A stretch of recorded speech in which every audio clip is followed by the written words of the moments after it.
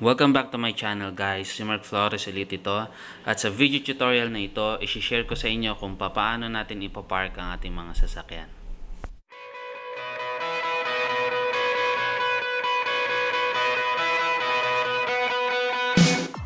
Okay, umpisa na natin to. Number 1, turn on signal light.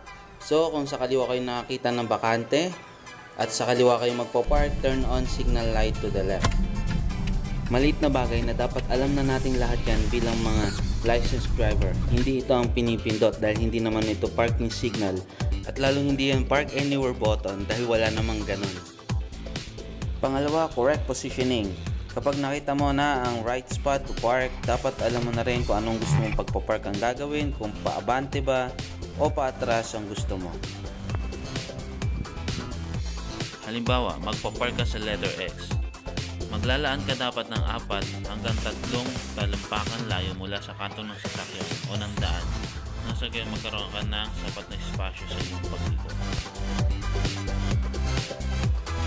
Kapag sa tingin mo tumapat na ang gulong mo sa kanto ng parking slot o sa kanto ng sasakyang katabi nito, pwede mo nang iikot ang iyong manobela papasok sa parking slot.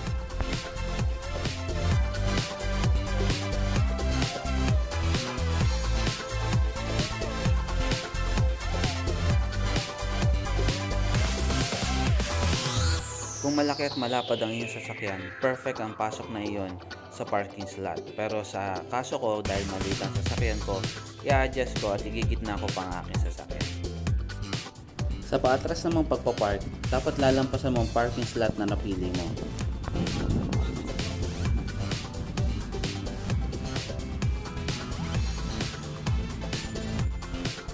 Sa ganitong estilo naman, mas ididikit mo ang iyong sasakyan sa katabing sasakyan ng parking slot na napili mo. Kung kanina ay 3 to 4 feet, ngayon ay 2 to 3 feet na lamang. Kung sa kanan kayo magpapark ng paatras, paglampas nyo sa parking slot, iliko nyo na ng kaunti sa kaliwa ang inyong sasakyan.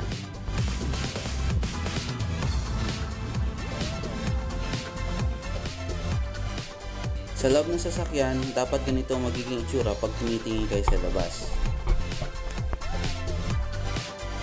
Kung may tatabihan kayong sasakyan, dapat makita nyo ang kanyang brake light sa loob ng triangle ng inyong salamin na ito.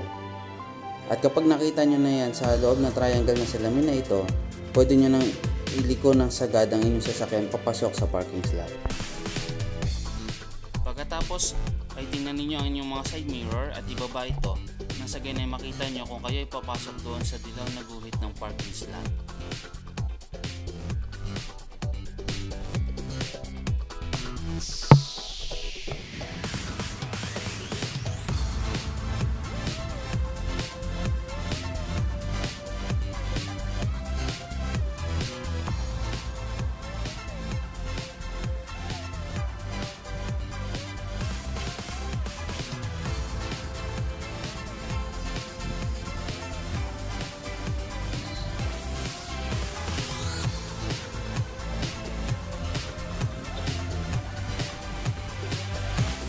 Pangatlo at ang huli ang pinaka-importante sa lahat, ang steering wheel. Dapat alam natin kung kailan pantay ang gulong natin sa pamamagitan ng ilang pointers na ito sa steering wheel.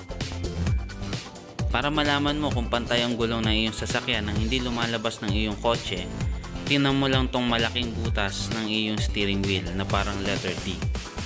Ngayon, kapag isinagad mo ang iyong manubela to left or to right, kapag ibinalik mo siya sa gitna, yung pangalawang pagbalik niya sa taas, yun ang indication na pantay na ang iyong gulong.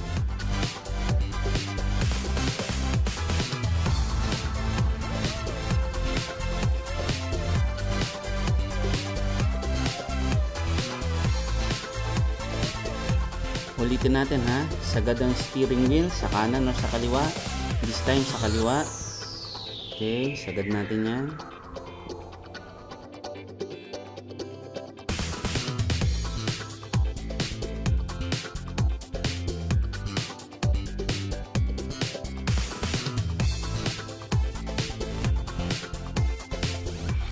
Yun lang mga idol, sana natuto kayo sa video na ito. Kung nagustuhan nyo ang video na ito, bigyan nyo to ng thumbs up, subscribe to my channel at pakiring na rin yung bell for notification. Thank you!